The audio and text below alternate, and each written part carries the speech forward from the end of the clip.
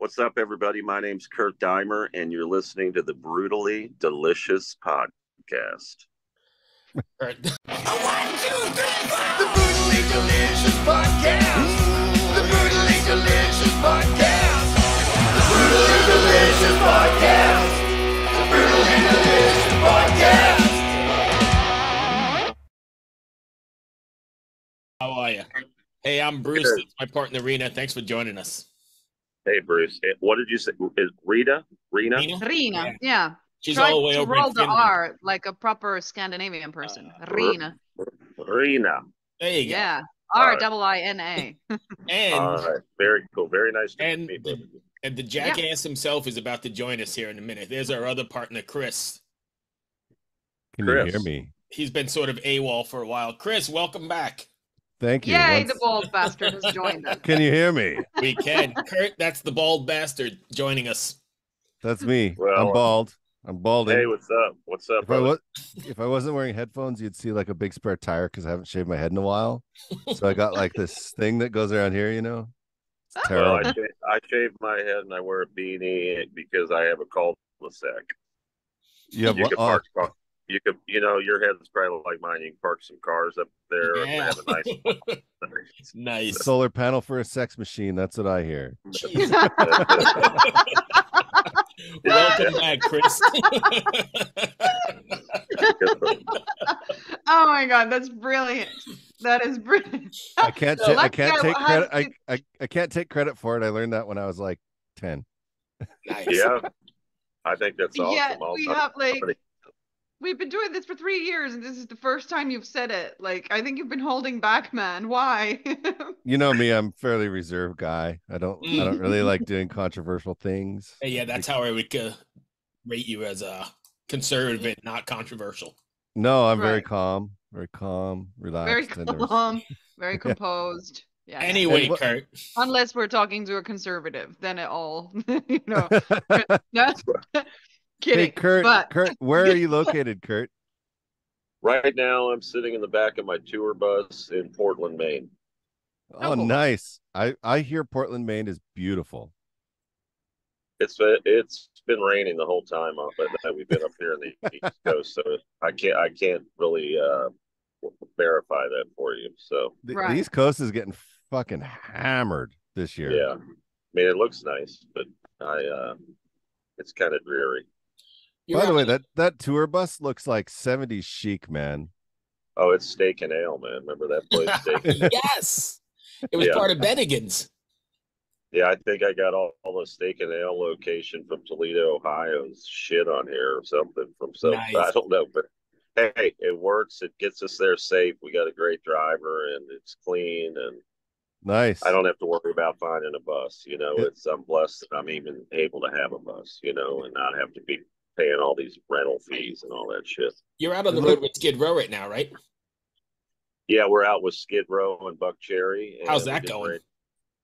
It's going great. We're uh, getting new fans everywhere we go. Everybody's digging the shows, and it's a great little package of three bands. And people, you know, a lot of people still. We haven't even been touring two years yet. They're still becoming familiar with us, and every night they're coming out. We meet with all the fans, and they're like, "Man, you guys have a different sound. You are." like this rock and roll like it's not other people the way other people are doing it and it's really cool and we're so glad we got to see you so we're our we're, we're on our uphill climb to the top of the mountain that's what that's my goal I have a Yeah. I have a question. How has your Yeah. ability to sell t-shirts gone from zero to hero on this tour? Zero to hero? Yeah, like have you become like a master t-shirt salesman? yeah it's we're selling more and more now. I mean we've doubled now what we did on our last runs so we're i can see the increase coming and people are coming to the table. We've got um even more designs. I'm trying to keep my designs more of my style my look and not date them with dates and all that um, there's really no need for me to put any kind of tour dates on a t-shirt until i headline and I would just probably have one that I did that. But I just want people to be cool, feel the vibe of uh, how I am. I'm chill, laid back guy who's not afraid of the world, and I just want people to jump on my back. Let's rock and roll and let's be good to each other and uh, keep moving forward. And I think that's resonating with the fans and they want to be part of that lifestyle. And I think that's why we're selling more now. Nice. I I often think that being on the road is like an opening act or uh like even just getting on the road, right? You're are you probably playing casinos, I guess, with Skid Row? No, we're, we've been playing. We played just played the Wellmont Theater, the Paramount Theater. We just Nice. played Lynn Memorial Auditorium. So they're big theaters and auditoriums. Nice. we even nice. played uh, Rose Music Center up um, north of Dayton, Ohio. That was an outdoor amphitheater. So that was- that is a beautiful venue. I I know a photographer that works there, Michael, and he is like I Yeah. seen I've seen photos of that place. Beautiful. that was kind of my hometown show because I'm from Cincinnati. So we had a lot. I mean, I we had fans coming up to us after every set. You know, because I always go out and say hello and meet people, and that was a great night. Do you find it stressful, like going on out on tour like that, and then you get off stage and you have to go meet a lot of people, right? But as a Right. singer, as a singer, you also have to maintain your health. Do you find it stressful? How do you deal with that aspect of of touring? Well, I, I'm pretty. Uh, I live in the rhythm of how I. I mean, I pretty much know my body really well, and I just know how I, I feel. I take care of myself. I don't compromise my immune system. Um, I don't take a bunch of medications or anything. I just kind of.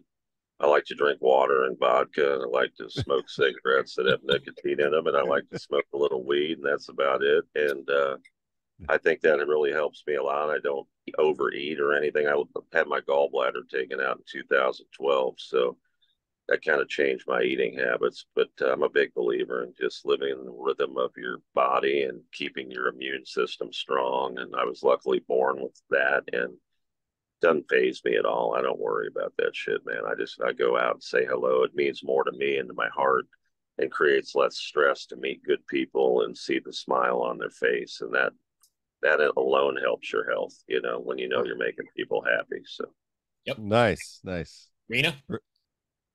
Yeah. Well, you, you're also uh well the, your your new single Doom is is basically written for your movie Hellbilly Hollow. Can you tell us a bit about that project? yeah hellbilly hollow um, i decided to start a horror franchise after i was in halloween uh, the john carpenter reboot reboot the first of these last three in 2018 and i with jamie lee curtis and i was actually killed by michael myers and i was Oh, really? Wow. How many people can see Yeah. that?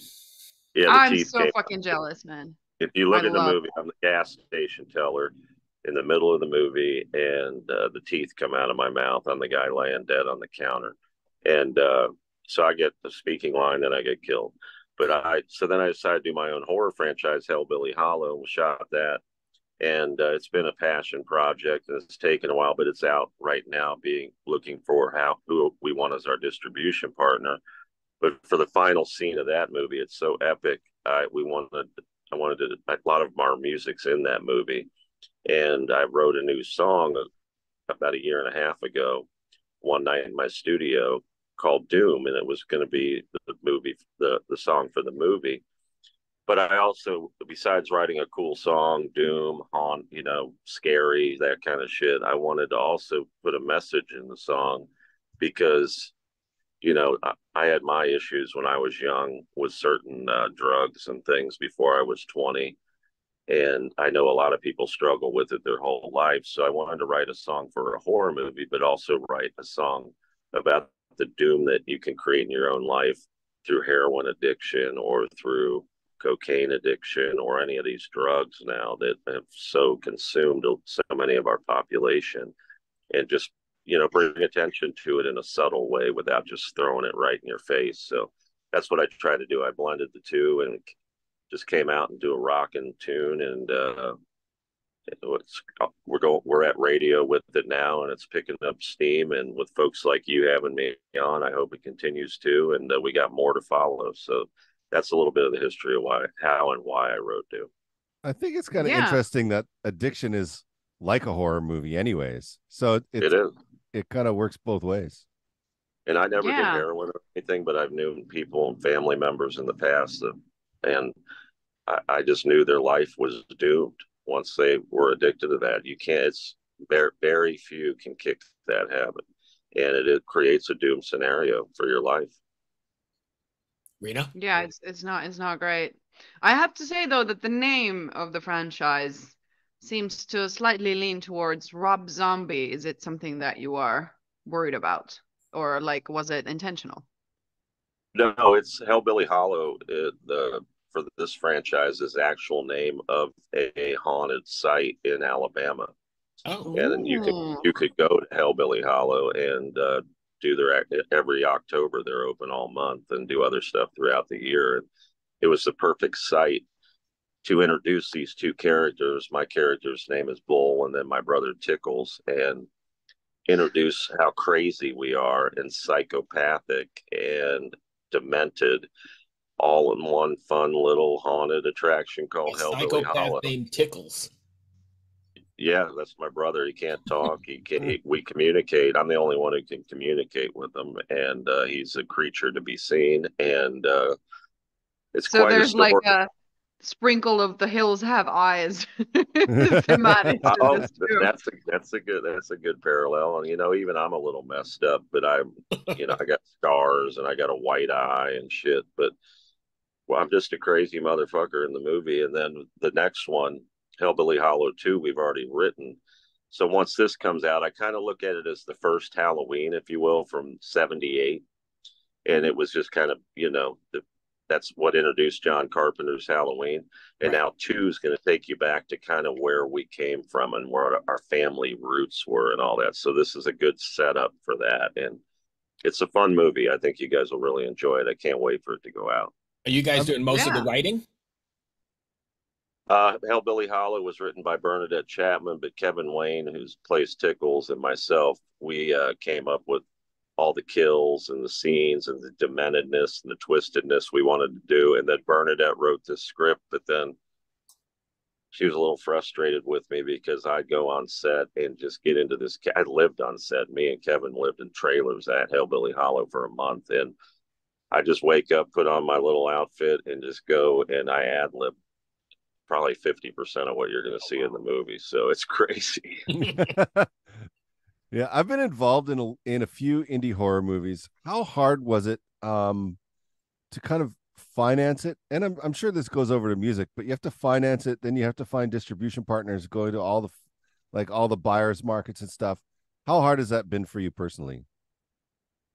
on Hellbilly Hollow, it's been it was very hard because it was kind of like everybody just filmed this movie, and then if I didn't take the bull by the horns, because we got such good footage for this movie, and then take it to post production and oversee all that and make it all happen, it never would have happened. So it was definitely a learning experience. It was a quick 101 to me on how to be a producer as well as an actor and not just be an actor. And then I just shot a movie in March with Lin Shaye from Insidious and Bill Moseley from the Rob Zombie movies that I star in along with them called Scared to Death. And that we I produced uh, I'm a producer on that. We shot that in LA in a month of this year in March and so smooth. It's almost done. It'll probably end up coming out before Hellbilly Hollow, but that won't hurt Hellbilly Hollow because now I've achieved that level where I'm acting alongside actors like Lin Shaye and Bill Moseley and starring in the movie with them as a character called the Grog. So I hope it comes out first and people go, oh, I got to see Kurt Deimer's Bull now in Hellbilly Holler. So, Nice. so it, it's definitely gotten easier now, but Hellbilly Holler, that I'll tell you, I, that was that was some stressful time. Oh yeah, the first uh, what was it like the first time you saw the bill or the cost for just the audio post? Oh, it's- I, I think I think I saw a bill for an audio post more than once.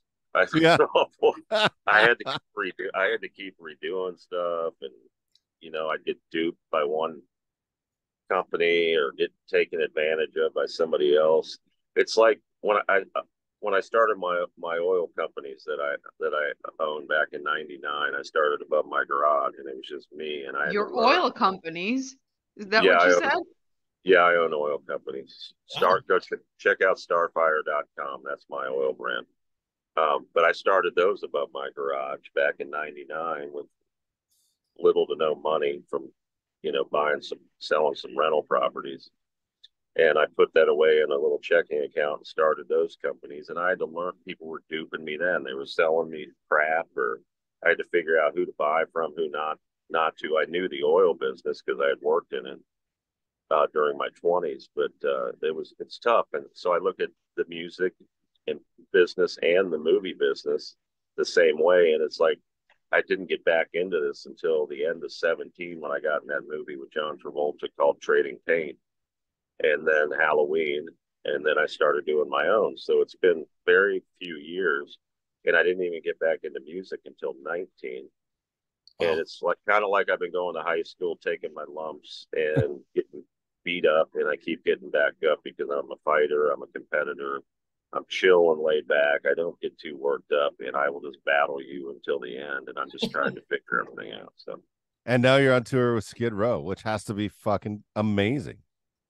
yeah, our our first tour was with Geoff Tate, and he's also is featured on one of my songs, "Burn Together," that your fans can listen to. And he just go to YouTube, you'll see our music video and all that, or anywhere you stream music. And then then I went out. I went on Ship Shiprocked. I was one of the uh, stowaways.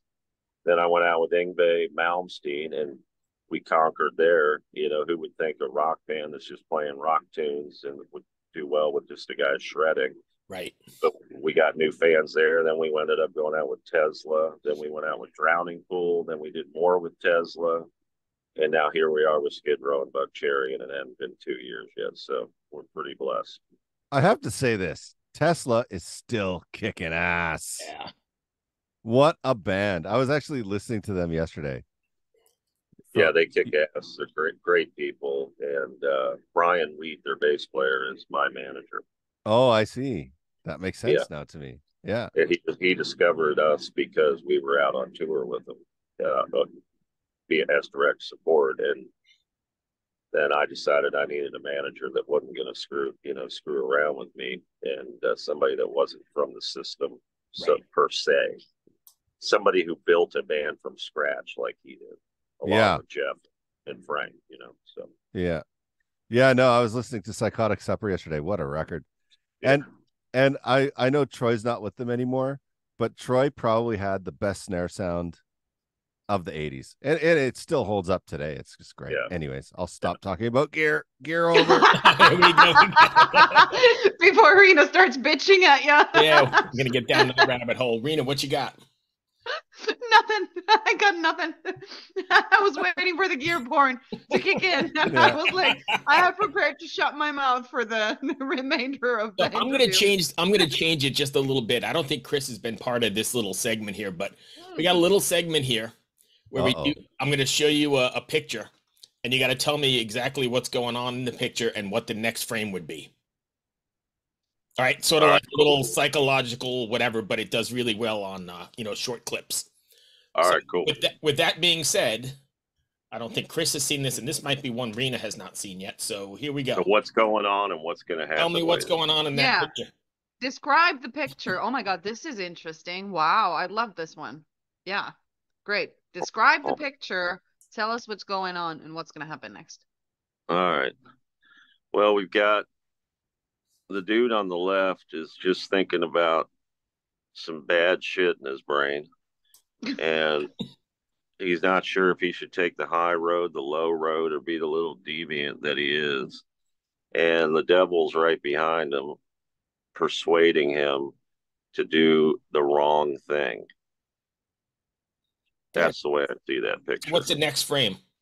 So the next frame would be because of the devil there, I'm going to say we're going to see what the guy's going to do. And I wouldn't doubt if he is sitting there staring.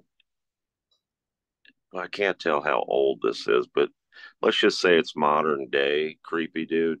hmm The creepy dude just sitting there, probably staring, looking at some child porn. That escalated quickly. That it did did escalate escalate quickly, but fair enough. Well, I mean, that's the kind of fucking crazy shit that goes on in this world. It just blows my mind. Yeah, it's And the- With the devil there, you know, you know he's up to no good. It could be anything, anything devious. But he looks like a little deviant, you know, consumed by the devil, and he's doing something that he shouldn't be doing. Fair enough. I'm So- gonna I'm gonna jump in here. Don't take it out. Oh, let, Oh, let me gonna- no, hang on. the- wait, there's- back. I got it back. I'm like I back. love these now. Like I said in the last episode, I'm getting really good at this. Like, uh, first of all, we're looking through some sort of like uh shelf cupboard or something, Right. right? Because there's this little fireplace on the right. It first looks like it's a picture frame, but it's not. We can see the uh like perceptions of it better when we when we look at the little fireplace with the little wooden S. Does it stand for Satan? For me, this is 50 Satan when you look at his jacket, right? I thought that was a dollar sign. No, that looks like sign. a dollar sign to me. It could be a dollar sign. Yeah, it could be a dollar sign. This is uh, even even better. And the guy on the left, he's either clergy, Mhm. like he's a priest because he's wearing purple, which is the color of the clergy, And or that's what made me color go to of that porn thing. Yeah. Yeah, exactly. I don't I don't think you were very far off, you know, probably, because if it's the Catholics, then you know it's a done deal. But yeah, this is this could easily be a Catholic priest. Yeah, I'm sorry, I have no no no. Uh, It's okay. I'm Catholic, anything. Unfortunately, and I give you permission to make that joke. Thank you, thank you, dude. I love you.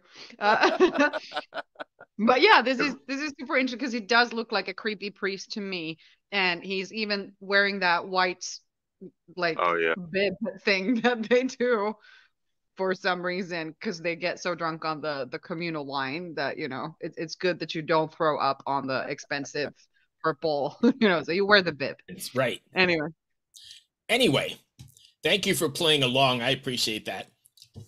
Yeah, man, that was fun. if fans want to find you, can you give us all your socials and your contact info? Yeah, it, the, it, it's Kurt K U R T, and it's Deimer D E I M as in Mary E R, pronounced Kurt Deimer. You can go to kurtdeimer.com. All my socials, Instagram, uh, X. Now I think it's called um, Facebook. Our fam club on Facebook. Everything's at Kurt Deimer. YouTube at Kurt Deimer. You can check out our videos, subscribe to our YouTube channel and we'll be putting way more content up there. KurtDeimer.com. You can find me everywhere. There's link trees everywhere, or Google my name. You'll see photos from the red carpet, any of that kind of stuff, and on IMDb. You can check that out as well. So, pretty much anywhere you go on social media, and our TikTok's ramping up too. We're going to start putting more videos out on there. Yeah, it's hard to keep up with all that stuff, but yeah. Yeah, it's a it's a lot, but luckily I've got some good people around me that uh, special that that can uh, help uh, keep communicating to the fans the way we want to be communicating with to them, and I do it personally as well. Like if, if you follow me on Instagram and you send me a message, I'm the one who's messaging you Right. back. So as long as I'm capable of in a timely manner, you know. Fair enough. So, uh, you guys got anything else, Rena, Chris? No. well I'm good. before i choke on this beer that i was drinking Oh, I thought you were smoking a J. not until we're done Oh. Not until But- yeah, you can't smoke weed till you're done working. I don't ever No, do it exactly. till after my show. No, totally. It's, it's What kind of beer do you 4:20 when, Like responsibilities are done, done. But we do need a bump